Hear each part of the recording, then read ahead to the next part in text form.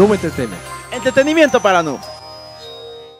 Hola amigos, ¿cómo están? Bienvenidos a un nuevo video de Noob Entertainment. Nos encontramos en la locación anterior que ya les habíamos presentado. El mismo día. El mismo día. y en esta ocasión les traemos la reseña del primer número de Panini de Asylum Boys o Koen no Katachi, como algunos lo pueden conocer. Ahí lo pueden ver en pantalla en manos del señor Damián. Saludes, señor Damián. Eso es todo. Creo, creo que no quiere hablar el día de hoy. Y eso está raro porque él va a hacer la reseña. y bueno, eh, lo vamos a comparar con la versión de Milky Way que también hemos comprado. Ahí la pueden ver también. De entrada, tenemos que decir que está mucho mejor la versión de Milky Way, obviamente. Obviamente. Panini no es muy conocido por su calidad. Ajá. Aquí en México comparando con Camite, ¿no? Por ejemplo. Sí, de hecho, yo compararía las ediciones de Milky Way ligeramente superior a las de Kamite. Pero son casi iguales. Solo por los materiales, puedo decir que sí, super- ligeramente superior que Kamite. Pero ahorita vamos a entrar al detalle de eso. De entrada podemos ver que la portada, los colores son más cálidos, puede ser, en la No, de... de hecho, son más oscuros. Oscuros, oscuros, Sí, de en hecho, en la versión de Panini. Tanto en la portada como en las ilustraciones que hay en el manga, en el número, son más oscuras. Me sostienes tantito. Va. No sé si se alcanza a notar, si Sí, se, se nota, nota eh, muchísimo. de hecho se ve más en la cámara, en el mundo real no tanto. bueno, sí un poquito. este y algo va, voy a quitarle tantito esto. Sí. Algo que no me, me agradó del todo, ya empezando con las cosas negativas, es de que, en primera, no tiene cublepolvos. Como es costumbre de, De las ediciones. Ajá. Pero bueno, yo iba a hablar más de las ediciones españolas. Ok. Aquí la ilustración es más larga. Tiene más detalles que muchos dirán, ay, por detallitos. A mí me encanta ese tipo de cosas y no sé, que corten la ilustración como tal es para mí un pecado. Es que aún así, de hecho, de usar un cubrepolvo se ve mucho mejor. Sí, de hecho. Ahora, el tamaño del manga ya sin su cubrepolvos se puede ver que es más largo, más alto, mejor dicho. De ancho es casi lo mismo. De hecho, cosa curiosa. Este es más alto, este es más ancho. Lo cual me llega a pensar que realmente las imágenes del manga en sí están estiradas. Desgraciadamente no tenemos el manga en japonés para compararlo y saber cuál es más fiel al, al producto original. Ahora, esta ilustración que es la misma que vemos en la portada, que solo que en, en puros contornos, como adelante como atrás, lo pusieron en la contraportada, que no sé si se vea porque está de como hecho, en un, no. un dorado mate. Ajá. Más o menos. Ahí, ahí en, la ca- en cámara se ve muy ligero. Ajá. Y en la de vida hecho, real también. En la vida real está igual. Sí. Bueno, ver, si no se alcanza a distinguir, aquí está esta, ¿cómo se llama? Se me olvidó el nombre, recuerden mi programa con los nombres. ¿Nishimiya? Ándale, gracias. Y en la contraportada está... Ol- Shota. Shota, soy malísimo para los nombres, recuérdenlo. Va. Eso obviamente le da bastante puntos a la edición de Milky Way. Siempre pienso en el chocolate. Milky Way. Para aquellos como nosotros, que nos gustan este tipo de detallitos, no sé, es como un fanservice para, para nosotros como consumidores. Ándale, de hecho, lo describiste muy bien, creo. Y va, empezamos con la edición de Milky Way. De por sí la ilustración, sí, yo desde que la ojeé la vi medio oscura. Estas. Perdón por los spoilers si es que esperaban algo. Pero en la versión de Panini se ven aún más oscuras. Realmente cambia muchísimo el, el color.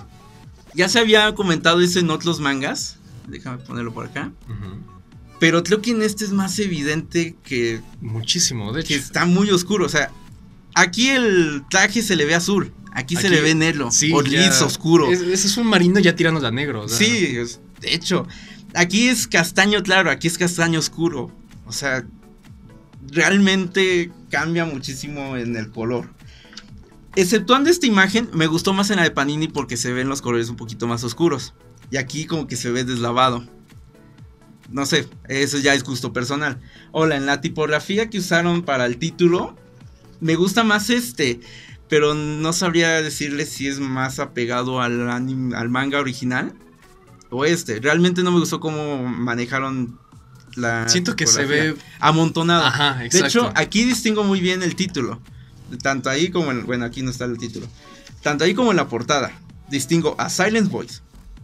Aquí no. Aquí se ve muy apretado. Y sí está bonita y todo, pero. La tipografía. Ajá. ¿no? Pero no. No me convence del todo. Ahora. En cuanto al papel.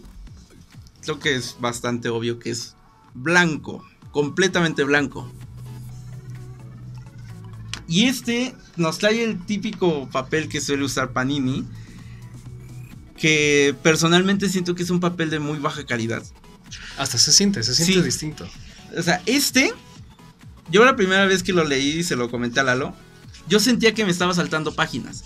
Porque es como dos páginas de uno de, de Panini. De hecho. Porque está bastante grueso. El material es bastante bueno. Y al menos yo no soy muy fan del color blanco blanco. Me gusta más un poquito más sepia. Pero no tanto como esto. Pero para mangas se distinguen mejor las ilustraciones y todos los entornos que hay. Se me hace más cómodo ver ilustraciones de manga en un fondo blanco que en uno como este. Este es excesivamente sepia. Ahora algo también mencionar. La portada aquí es brillante. Ahí se alcanza a ver la luz. De hecho. Y este es mate. Realmente siento, a pesar que está bonita la edición, no lo voy a negar, para hacer Panini, realmente yo lo comparo Panini con como la nueva VIP. Y sí, a lo mejor muchos me van a clasificar por eso, pero es la verdad.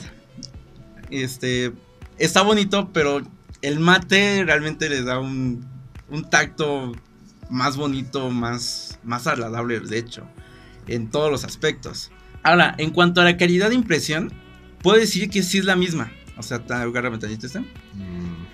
Tanto esta como la de Milky Way, déjenme ver si encuentro la página, aquí está. Siento que es exactamente la misma, la misma calidad. Pero este al ser un papel más grueso, se puede este, impregnar mejor la tinta en el papel. Lo cual hace que la calidad se note. Este a pesar de que es la misma resolución en las imágenes, por el tipo de papel no se nota así. Y tal vez por eso luego hay muchos errores en estos mangas de Panini. O sea, que luego ves manchas, Ajá. errores en la impresión. Yo también pienso que es por el tipo de papel que usan. Sí, de hecho, al menos esta versión que me tocó a mí No tiene errores. No tiene errores. Mm, y el único punto, bueno, va, vamos con los puntos positivos, dejando a un lado tantito Milky Way. Puntos positivos. Manga comercializado aquí en México o en Latinoamérica, no sé si no solo sea aquí en México. Y que no tiene los, los modismos que tiene esta edición. Esta es española. Sí. Y es más, más fácil la lectura en este por lo mismo. Porque estamos un poco más neutrales, al menos en el idioma. La calidad, como ya lo mencioné, comparado con otros títulos de Panini, es bastante buena. No como... ¿Cómo se llama este? De los amigos de una semana. Friends. Ajá, que a mí me tocó una edición horrible. Y este está muy bien. De hecho, tú la tocas y se siente macizo. O sea, no se levanta, no se dobla. Bueno, más, esto solo se levanta. Hay unos que están así como que en ese, ¿no?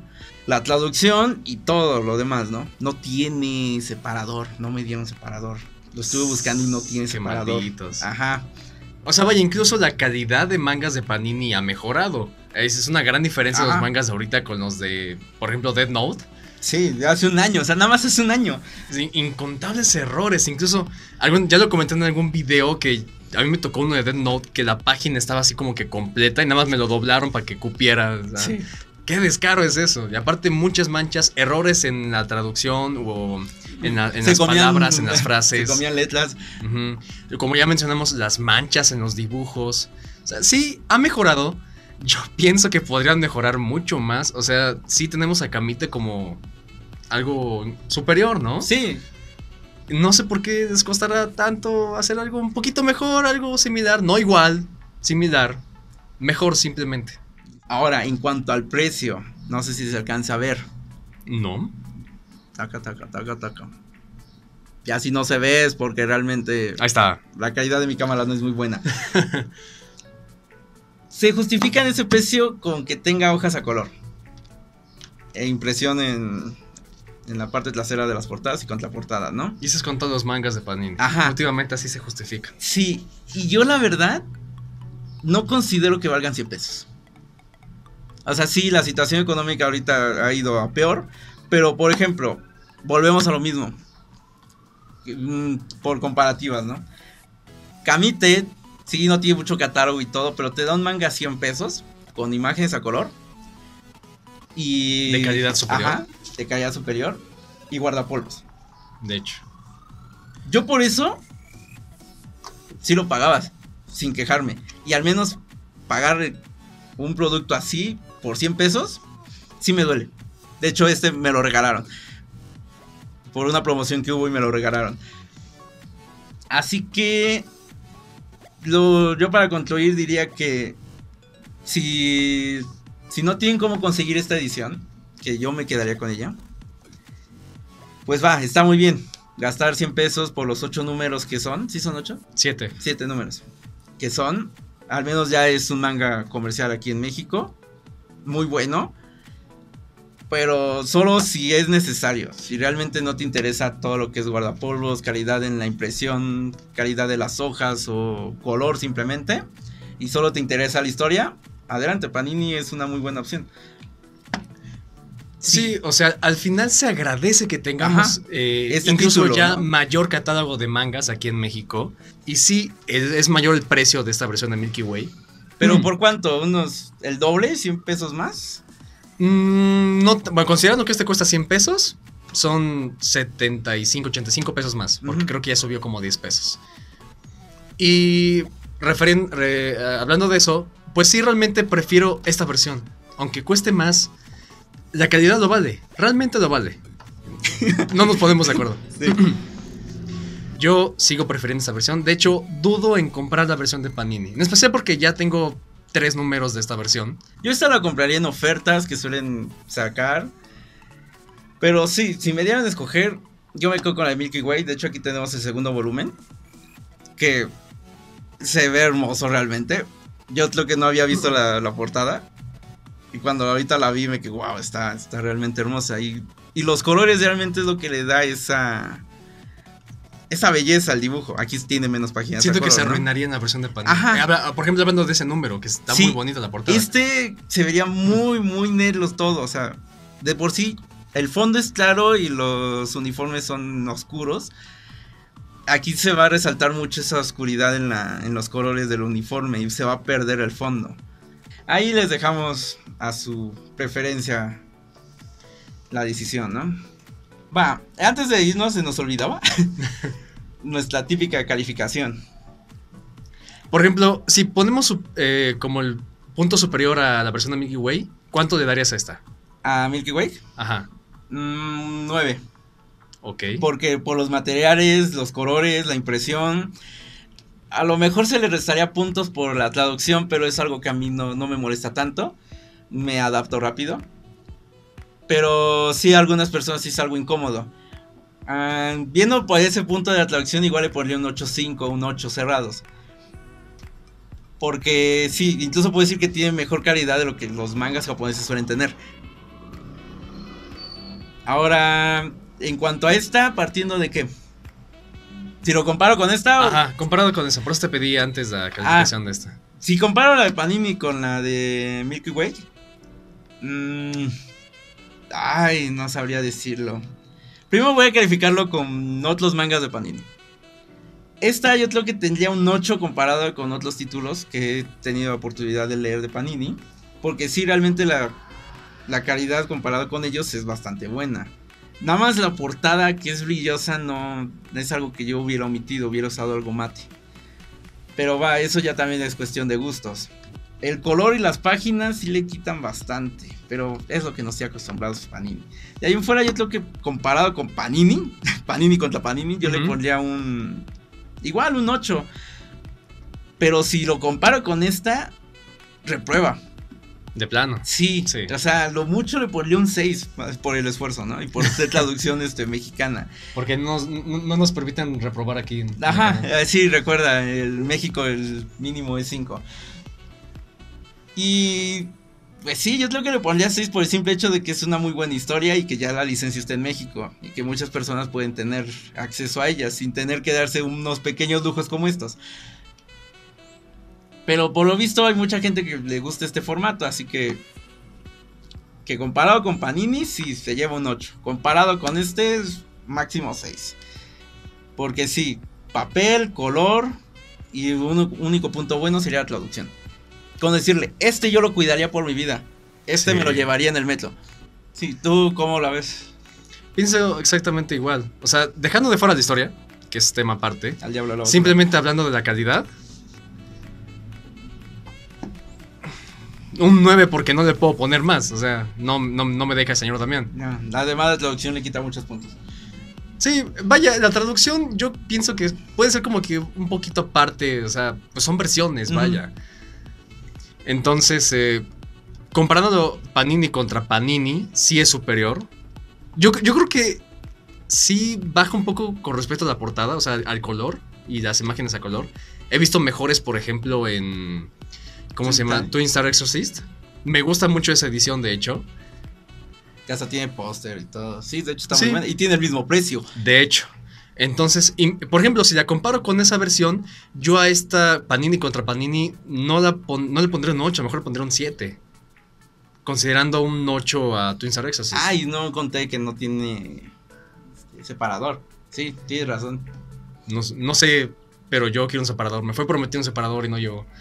Al menos que no lo hayan tenido en la página, sí, digo en la tienda. Si los hay en otras tiendas, avísenme para ir por uno. Nos comentan, nos ponen la dirección y vamos. Ya si quieren, les invitamos a un café de ahí. A huevo. Y sí, comparado a la versión de Mickey Way, sí, o sea, máximo un 6. Tienes toda la razón en ese aspecto. Es muy superior, simplemente. Hablando nada más de calidad. Y no es por menospreciar el trabajo de Panini ni por irme por trabajo por trabajos que no son nacionales, pero me gusta más la calidad. Así que yo me iría más por esta.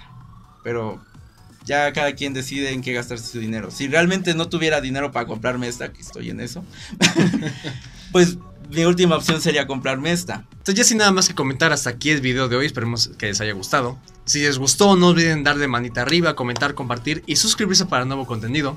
Seguiros en nuestras redes sociales, que en este caso estoy al revés, así que Facebook e Instagram. Y vaya, por supuesto, aquí YouTube. Y ya sin nada más que comentar, aquí me despido, yo soy Lalo Fonseca. Damián Jiménez. Y nos vemos en el próximo video. Hasta luego. Bye bye.